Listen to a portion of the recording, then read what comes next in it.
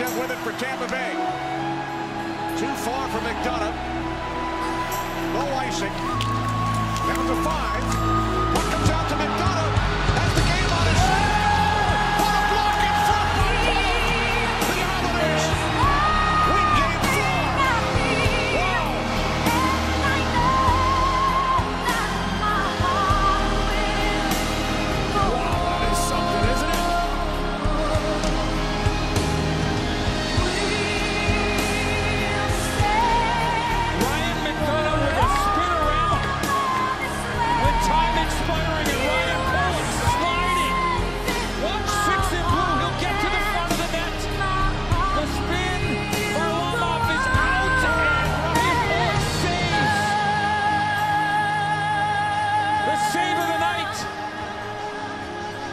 Steak dinner coming for Pulock.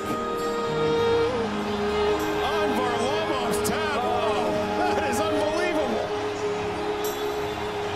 Ryan Pulock scored the game-winning